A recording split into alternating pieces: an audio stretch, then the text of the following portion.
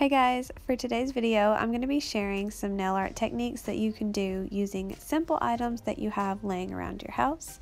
You don't need to have fancy nail tools or nail art dotters or brushes to get really cool looks.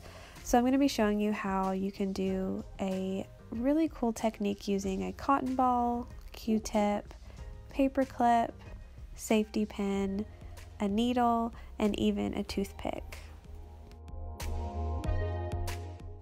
So you're also going to reach for something simple like a post-it note to use as a palette to put your nail polish on.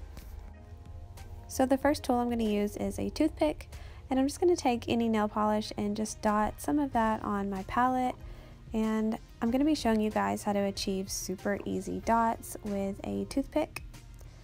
And when it comes to dots, the difference really is how much polish you load up on the end of the toothpick and how much pressure you apply to the nail. So if you want small dots to be pretty consistent, you just want to dot down one time on the nail and don't overload it with too much polish. Now I'm going to go in building up a little bit of a bigger dot by just applying more polish on the end of the toothpick and do two dots in the same spot. It just kind of builds up the circle. And then lastly, you can get an even bigger dot by just loading up even more polish on the end of the toothpick and rubbing it in a circle. The next tool I'm going to use is a paper clip and I'm just going to open it up and use the blunt end dipped in some polish to make dots. This is a really great tool for making dots because it has a circular blunt end, so you just have to do one dot on the nail and you'll get that perfect size dot every time.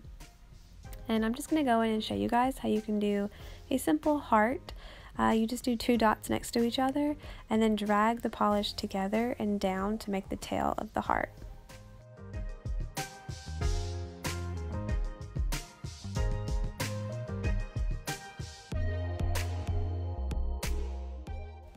Next I'm going to take a q-tip and I'm going to dip that back into my polish and kind of dot along the edge of the nail. This just really concentrates a bigger like surface area with the polish and you can kind of cover more at once.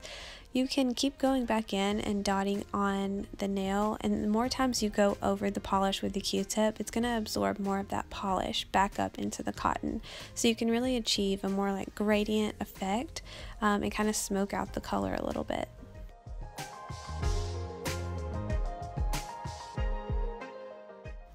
I'm now going to grab my needle and just run it through the polish one time. You don't want to load up too much on there to where it's too goopy on the end because the needle is great for making line um, kind of nail art and just small skinny strokes.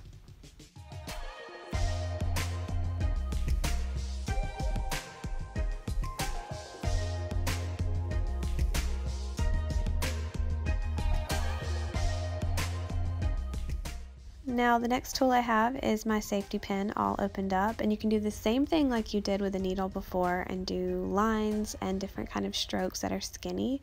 Um, but I, Another reason that I like using a needle point is for picking up glitter. So I am a fan of placing glitter exactly where I want it on the nail instead of just brushing glitter on with the brush. So using any kind of needle point is really great for that. It allows you to pick up specific pieces of glitter and place them wherever you want them on the nail.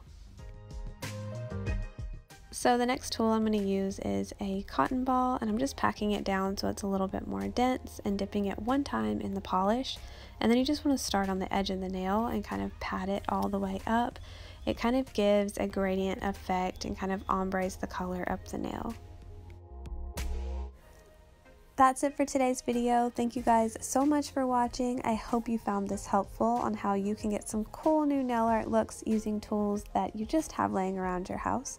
If you guys found this helpful or want a part two, let me know in the comments down below. Bye guys.